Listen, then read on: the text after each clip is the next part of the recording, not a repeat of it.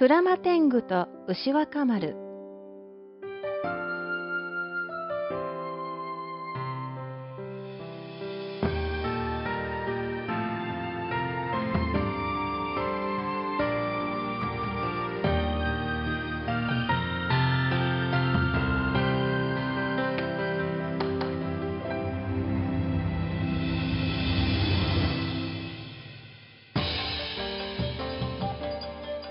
治の乱で負けた源義朝は尾張の国で死にました。勝った平清盛は義朝の妻常盤御前を捕らえて一緒にいた幼い子供たち三人をみんな別々の寺で出家させました。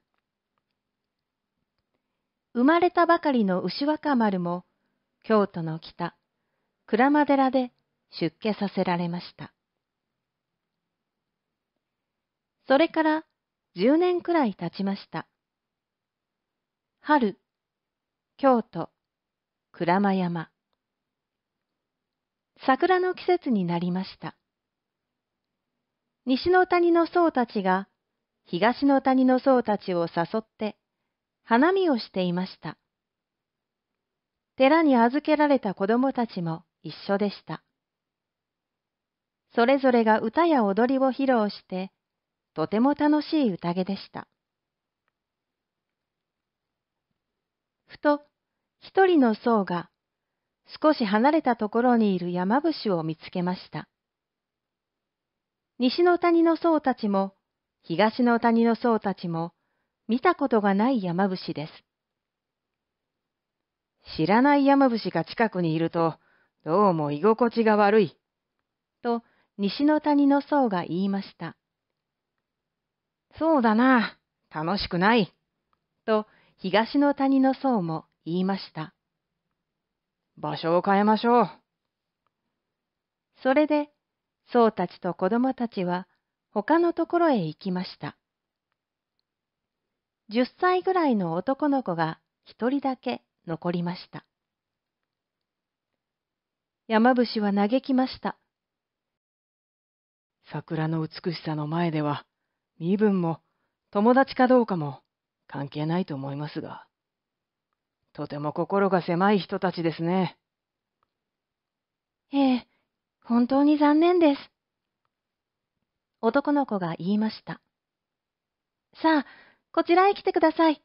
一緒に桜を見ましょう。ああ、優しい子だね。他の子供たちはみんな一緒に行ったが、どうしてあなたは一緒に行きませんでしたか？山伏が聞くと、男の子は答えました。他の子供たちは平家の子供たちです。みんな平清盛の親戚です。私は源氏ですから、友達になることができません。山伏は気がつきました。では、あなたは、鞍馬山で出家した常盤御前の三男、牛若丸ですね。なるほど。仇の子供たちと一緒だったら楽しくないでしょう。はあ、かわいそうだ。じゃあ、私と友達になりませんか？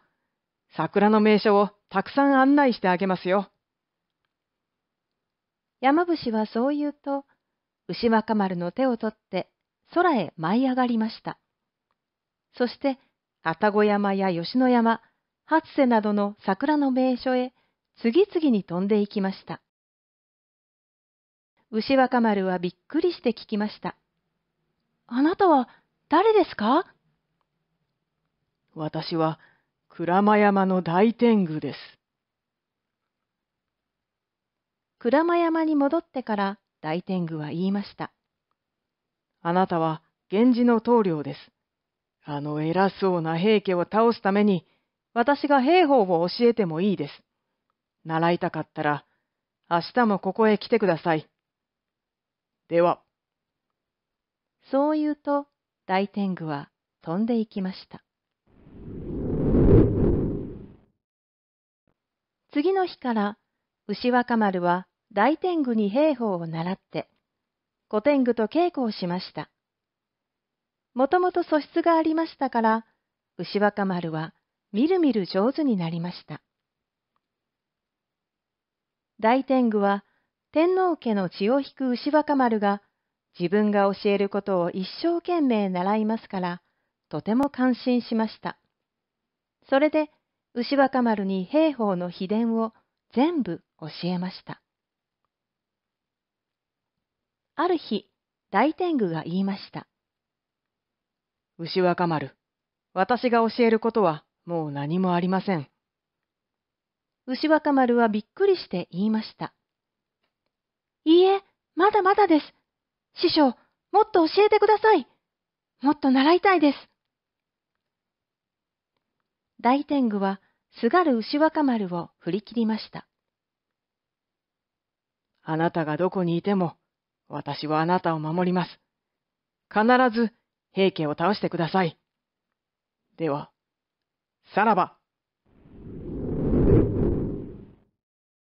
大天狗は大きく羽ばたいて夕空へ消えていきました。